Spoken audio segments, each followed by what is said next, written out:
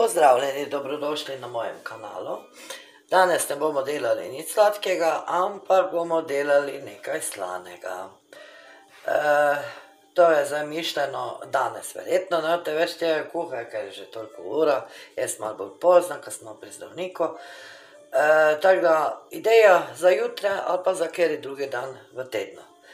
Delala bom pa ričet, ješprenj sem zvečer namočila, tako da je tole namočeno, tule imam fižol, nimam tega le za namočiti, ampak sem iz konzerve vzela fižol. saj je tako isto, lahko rečemo. Pol imam tule malo krompirja, to je en krompir, ampak je toliko velik, na kockice na drobno narezan, saj se vidi, ja. Pol imam tule peteršilček, malo tega listja, en lovorov list. Zdaj pa gledam, kam sem te, tule še je tale kocen od peteršilčka, je bolj mali, ker nimava večjega, to je domače. tako da tole. Pol imam pa, tule imam domačo vegeto, eno žlico, tele, malo še bom solila, malo poprala, malo bom dala rdeče paprike, malo majarončka, to na olju. Tule imam pa česen v olivnem olju. Sem ga, sinoči si not dala tole. Slanino imam na kocke narezano, tule je korenček, ta je zmrznjen sicer, malo paradajza mini, tule je ena čebula cela pa mešano papriko. Jaz dam papriko not, ker je, ne vem, čisto drugo jesti je, ko je še paprika zraven. Tako da, jaz bom zdajle takoj začela, da ne bo tole predolgo vse skupaj.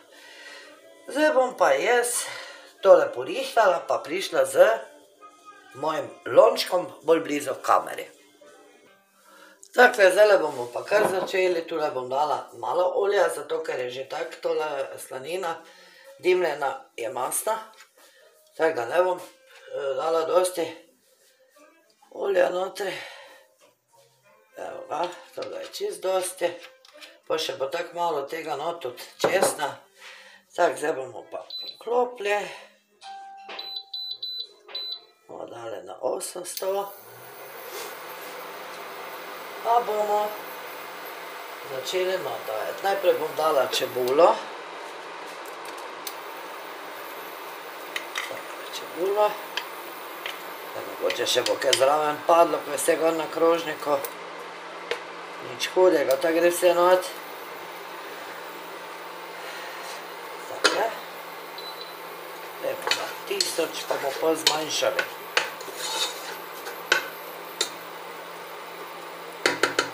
Ja, ker še tako imam pod korenčkom, notri imam čebulo.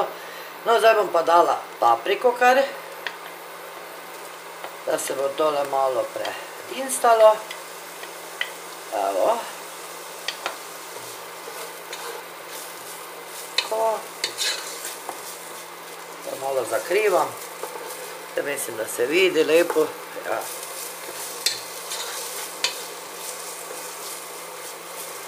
Malo bolj barvasta. Pa bomo dali tale mini paradajz pa korenček. Tako, bomo pa malo tole podinstali. Pol bom pa dala še slanino zraven. Tako.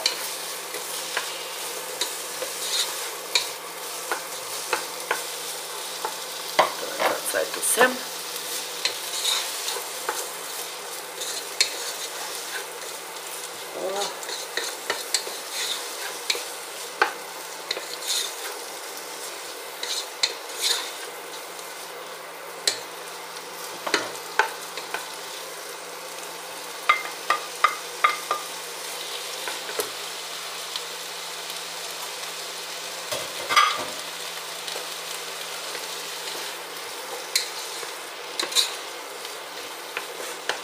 Pa malo zadiši, pol pa gremo dalje.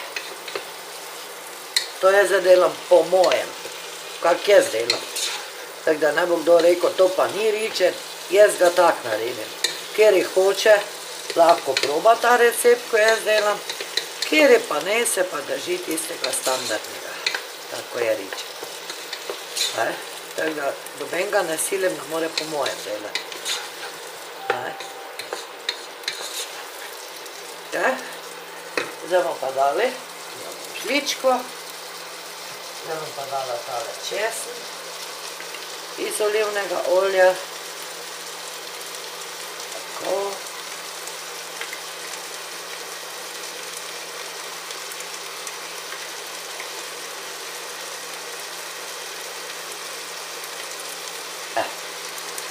Takle. Tole bomo dali za stran. Še.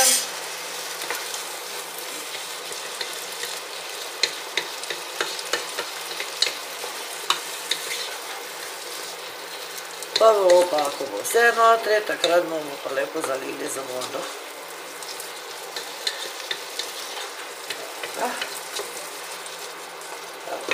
Jaz še dam tu notri malo žličko, dam rdeče paprike.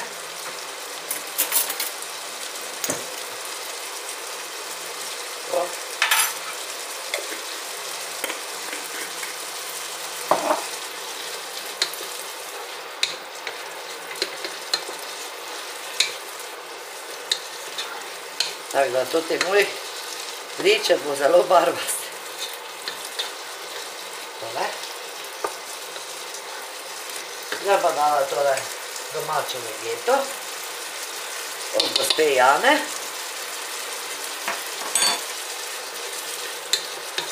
Pa še bom pa tako solila, če bo premalo, malo soli.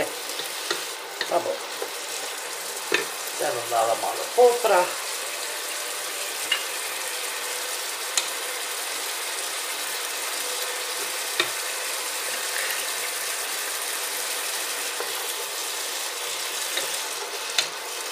Tako da niste tu. Zdaj vidi, kako diši, pohali.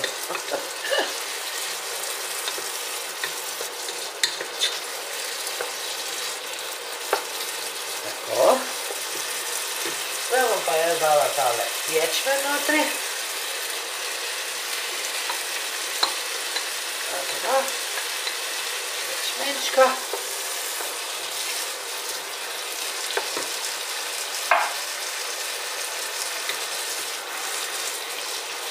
To je bilo namočeno, čez noč se bo tako hitro skuhalo fižole. Tudi tako rečemo iz kormetka, razen krompirček. Tis pa tudi, opa, jaz sem se pa na bluzo vrl vrgi. Razen tisti se pa pač malo del. Tako je. Zdaj bom pa je dala še tole mat. Malo peteršilčka bom pa pustila za pol, za povrhu, da se okrasi pa bomo dali lovorov list, pa krompirček. Tako.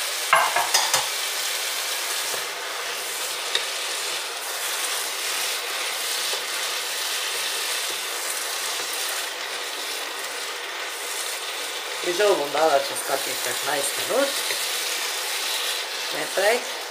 Tako, tu bomo dali malo. Tako. Ja, malo več je šit manj. Oh, spet je še kaj. Znači, bomo pa tak naredili. Iz mitke. Tak, ene dajo še traj tudi. Pa kjer je hoče jezam, tole pa je čist dosti. Zdaj še bomo pa malo solili, pa zalili.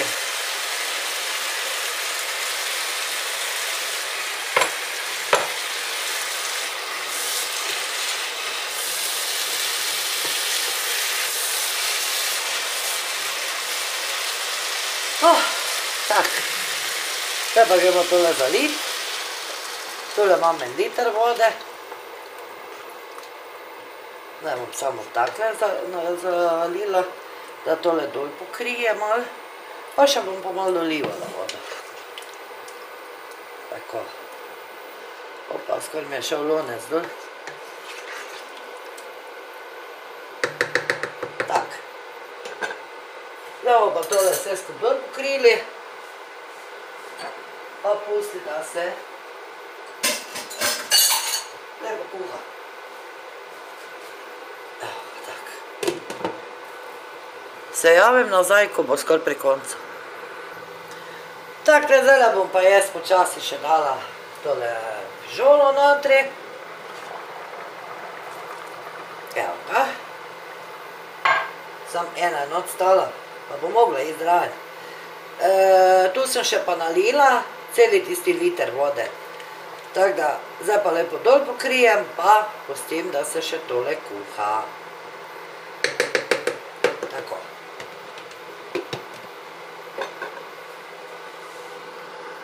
Evo, moj ričet je gotove. Ga je že nekaj zmanjkalo, si ga je mož vzel. Tako da zdajle si še bom pa jaz nadevala. Pa gremo midva h kosilu. Evo ga. Podmete nisem nobene dala, ker je že tako gost od krompirja, od fižole. Tako da ni treba podmete. Tako, zdaj še bomo pa dali, to se zdaj ne vidi. Takle. Evo ga. Zdaj bomo pa dali malo tegale peteršilčka gor. Nacufkali. To je zdaj bolj za okras.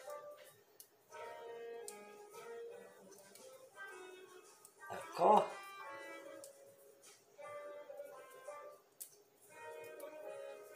Takle. Ja, nič. Naredite ga. Probajte ga. Po mi pa v komentar napišite, če ste takega delali, ko ga jaz delam. Hvala za vašo podporo, za vaše lepe komentarje, za vaše pohvale. Pa se vidimo v naslednjem receptu. Naslednji recept bo pa malo sladek. Malo sladek, ker jaz ne dam dosti sladkorja not. Nič, lep pozdrav pa dober tek, ko ga boste jedli.